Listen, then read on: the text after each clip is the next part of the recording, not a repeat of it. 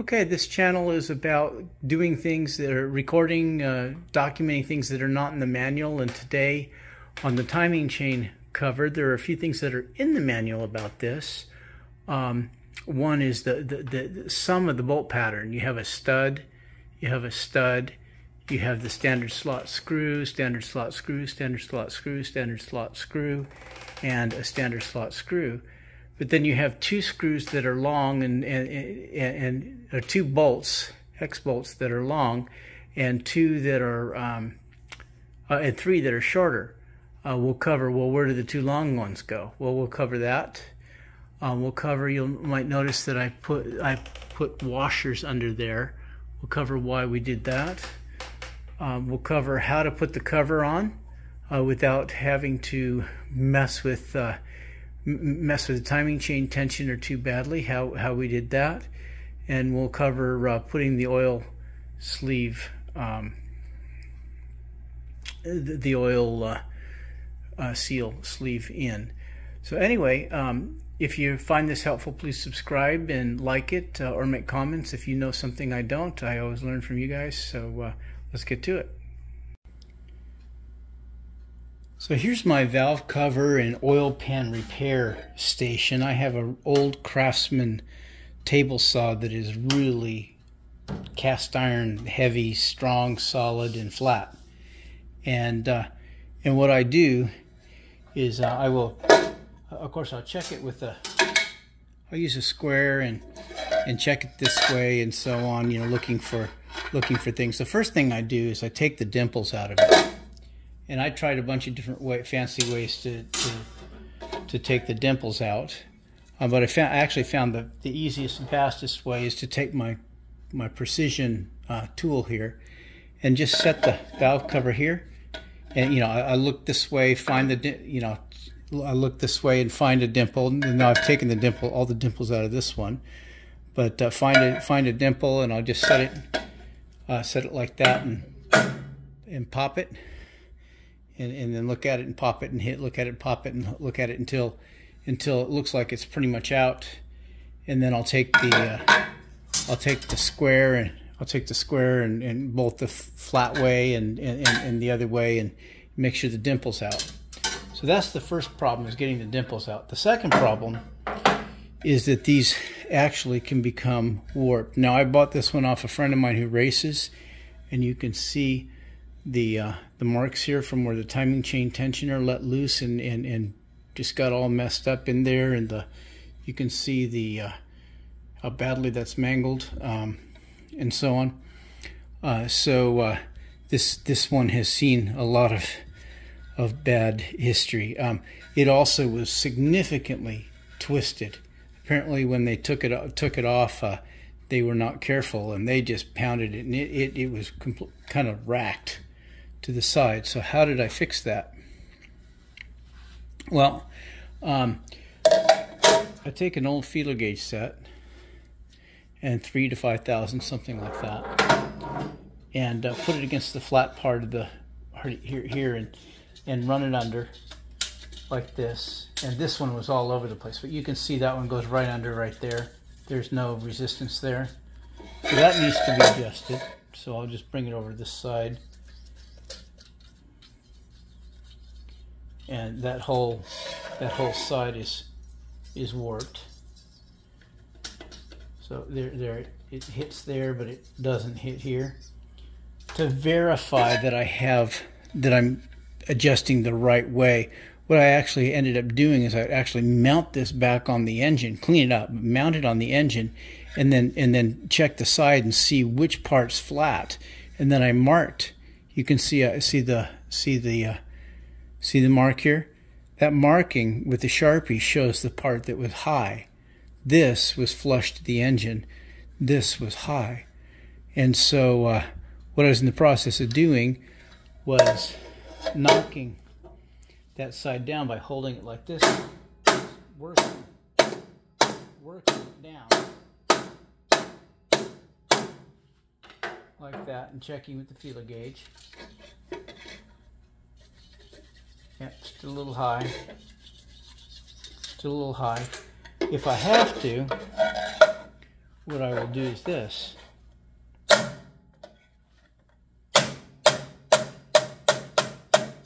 I can't get enough movement the other way.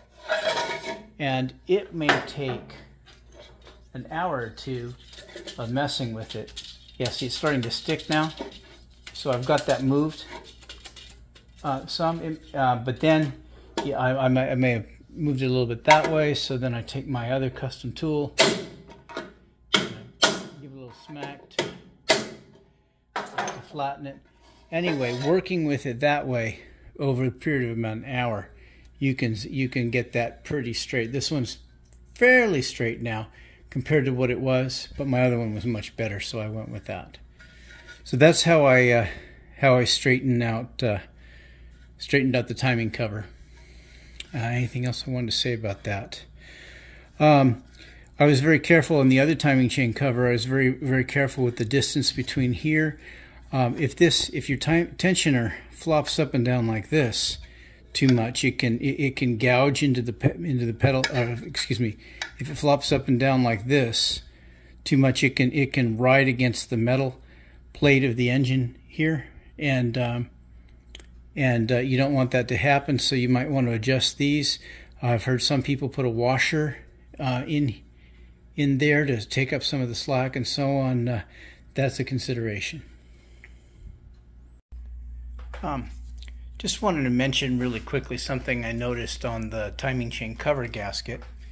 So I ordered one from Moss which is the one I ended up installing which says uh, which has uh, made in England on it. And it's pretty, pretty thin there. I had another one that I had, had gotten out of a set, um, out of a pan gasket set uh, from Roadster Factory that was thicker. And it was made of this material. Now this is the material, that this is a TR3 timing chain cover gasket. It was a little bit thicker, a little more substantial. And had I to do it over again, I would uh, want to use the one, this thicker one, just because I, I think the thicker gasket's better. But I wrecked it in uh, in doing an install deinstall um, previously, so uh, it, it delaminated when I when I took it apart. So anyway, just thought you might want to see that. I use this this Permatex fuel resistant gasket dressing and sealant. It's equivalent to blue Hylamar. Do some research on blue Hylamar. Uh, but uh, it, it, just is superior sealing. And the other thing is it doesn't uh, dry permanent. So you can, if you're lucky, you can take this gasket cover back off. But it, I found it seals against oil real well. I started using it on a on on transmission, chasing down transmission oil leaks. I started using it, and uh, even though it seems to go on thin, it it uh, it really works well. If you follow the directions, get it very clean with acetone and uh, and let it uh, coat both sides like you would contact cement kind of idea and then let it flash off give it five ten minutes for the acetone smell to go away and then mate the parts together. I've had really good luck with this as far as preventing oil seals. The most important thing again is to get the cover really flat and get all the dimples out and get it straight Uh, something I did forget to mention in the manual it doesn't talk about which way to put this oil thrower in, but you want to put the uh, you want to put the dish, the concave side out. So you want the uh, you want the lip to be facing out. You don't want the lip to be facing in. The other thing, I, I also replaced the, the front seal. I, I happen to need um, a uh, uh need to add a little bit to an order and so I got one more seal. Um, and I found that, that the seal that I got from Moss, I like it a little better than the one that I got from wherever all I got the other one from. It's it feels a little firmer, more substantial. So again, Moss, I don't I'm not sponsored by anybody, but uh, uh, I kind of like that one. So uh, I put blue Hylamar around this, and I pressed it in. I have a press. I pressed it in very carefully. Um, also, people have been talking about installing the timing chain, installing the timing chain cover and having uh, having a, a, problem with it, and and you know, people taking a uh, taking a um, uh, an Allen wrench and holding it down, or taking dental floss and holding it down, or using a screw to hold it down. I, I've never done any of that. Maybe I'm doing something wrong, but uh, here's how I do it. I simply put it this way so that the chain, the, the tensioner is now sitting again, now it is inside of that chain now. And I just turn it like this. And pop it on. It's as simple as that. I, I don't understand the need to do the other things, but uh, perhaps uh, somebody can explain what I'm missing, because I don't think I am. That's I think it's as easy as that. So um, we're getting ready to put the timing chain cover on, and here we can see that in the manual we can see the pattern. We have the two um, the two uh, studs here. We have we can see the pattern of the uh, of, of the standard screw slot ones here and, and the one down here. Now the question I have is there's five uh, five bolts and two of them, these two, are slightly longer than the rest. And if you look in the manual, it doesn't talk about that. If you look on the website for the vendors, I looked at Roadster, Factory, uh, Rimmer Brothers, and Moss Europe, and none of them talk about the difference between those. And all of, all of them list all of these five as the same bolt for replacement, so I guess it doesn't matter. What I did just for fun was I took an, took an Allen wrench and I put it through the holes and I found that that one goes through and that one goes through. And uh, let's see. That one does not that one does not and that one does not. So there's two two holes this one and this one that go through I'm going to put the longer bolts in those and the shorter bolts in the others. So the longer bolt goes, I'm going to put here and I'm going to put here. And notice it's just uh, on each of them is just clockwise to the locating pin on each of them. So that's what I'm going to do. The other thing I've done is I've uh, is I've black oxided a bunch of washers and I'm going to put those under the um, under the um, each of the bolts uh, with the lock washer because I don't want I think the lock washer contributes to the dimpling. And the last thing I'm going to do is I'm going to only torque this down to 8 to 10 pounds as opposed to the 16 in the manual uh, just because these tend to leak from over tightening and, and uh, I think the, the, the 10 pounds is going to be enough. So uh, let's finish this up. One last thing I wanted to mention is you'll notice there's goop on these um, that that is um, blue Hylamar or Permatex fuel resistant, and I've also gooped, um, put put a little bit in the hole and let it dry. Um, that's to seal the th the holes that go through. Um, that's to seal uh, seal it against oil leaks. So uh, that's why I did that. So let me finish it up now. Well, I don't have a standard screwdriver slot um, bit for my uh, in 3 8 drive. So what I do is I approximate it, and I, I, I use a uh, I use a a, a uh, screwdriver and a crescent wrench, and uh, this crescent wrench or this screwdriver, by the way, is a is uh, got a really nice big tip on it. Uh, I use this for door hinges and and other screws this size and if you torque down the, the regular bolts uh, first, and then uh, and you kind of get a feel for it, then you just go with that same sort of feel on the screws. That's what I do anyway. I guess I could go down and buy a, a socket for it, but uh, this works for me.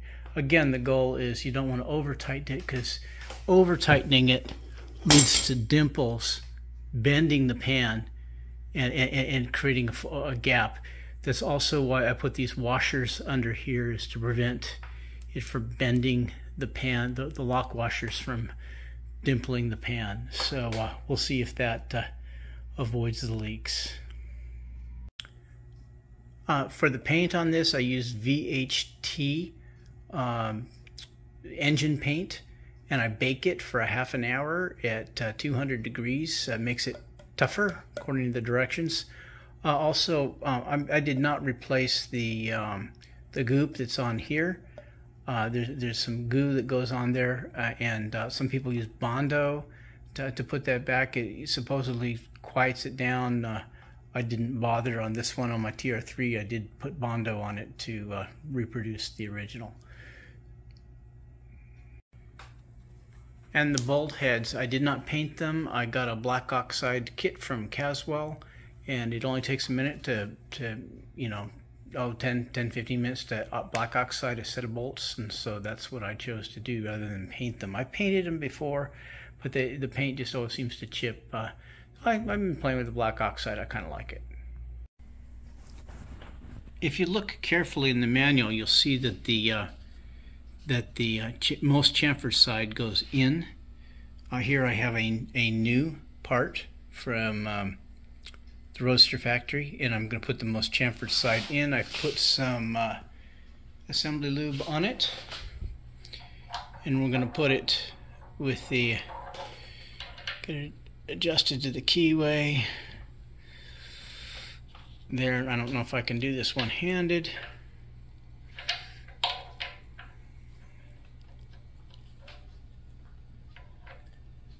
Not very well, so I'm going to go ahead and put you down and put this on. Okay, uh, I ended up having to tap it in within, I use a brass hammer and a brass punch. Uh, my brother made this in the 70s in Metal Shop, and I use it. He's passed away, but I, I use this in his memory uh, as with some of my dad's tools. So it's in. Uh, here's the old one, and you can see see that line in it. Uh, that's the line from wear in the seal. And uh, that's why you want to replace it now on a on a like a TR3 or something. You might need one need to, it doesn't have this piece. You might need to use a speedy sleeve, but it's so much cheaper and easier to just uh, pop a new one in here. But that that uh, that uh, worn spot will leak oil. So there we are. The timing chain cover is all installed. Hopefully it will not leak. Uh, one other thing I didn't mention is uh, is I put a classic tech from Classic Technologies, so you can buy them from the other vendors. I put the solid steel um, bridge under here, so I didn't have to worry about these bolts stripping out. So uh, or these stripping out. So uh, anyway, um, timing chain cover is installed. Uh, that gave you some overview of things I learned about it uh, or things I know about it. Uh, if this is helpful, please subscribe and uh, like the video. It encourages me to do more. Thank you.